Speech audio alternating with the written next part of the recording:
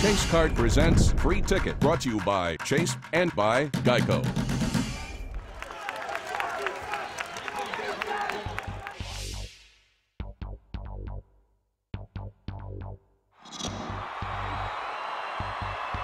You know, I was extremely happy and could have stayed at Oklahoma forever. But, um, you know, in, Indiana is one of those places where basketball is, um, they have a passion for it. And, and I wanted to um, uh, take on this challenge.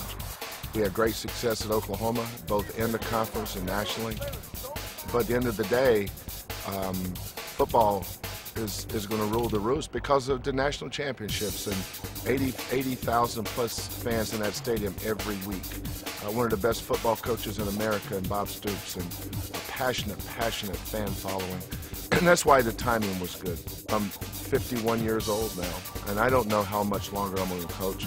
But when this opportunity came up, I knew that this was the right time for me to come here. Um, and, and I'm, I'm excited about this. I mean, I, I feel like um, we have we can have some great great years here at IU. I don't think Mike Davis got near the credit he deserved because his teams did a good job. I remember playing Indiana in the Final Four. Well coached, tough, hard-nosed kids. But I think all coaches get to a point where either they're really comfortable or sometimes they need to change. You know, and that's usually the rule in this profession more so than the exception. I mean, sometimes coaches feel more comfortable in other places, and I think that's what it more or less was with uh, Mike. The toughest part of transition was waiting until this practice started in October. Um, because you're dealing with everything that you don't want to deal with. Uh, yeah, uh, I, am a basketball coach. Uh, I've been blessed and fortunate to have some great friends. I have a great wife. I have a great family. And, and the, the greatest advice I can give anyone, um, things are going good, things are going tough, you're dealing with some issues, is just coach your team.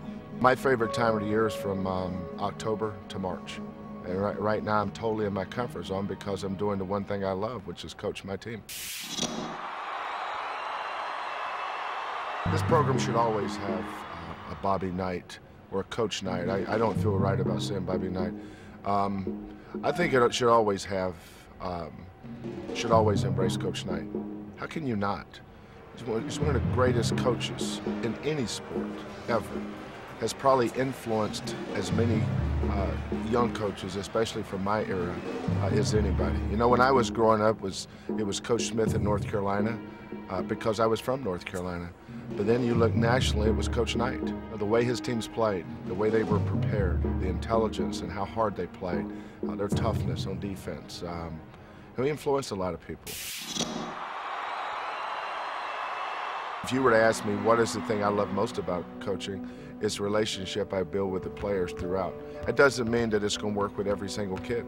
I don't think it works for every coach with every single kid. Um, but you try to help kids, um, knowing that you're not going to have a 100% success rate in that area. Sometimes you can help 95% of the kids you you coach or kids that you're that you're you're coaching. A lot of people will focus on the 5% maybe that didn't work, but but I, I enjoy the relationships I build with the kids over the years.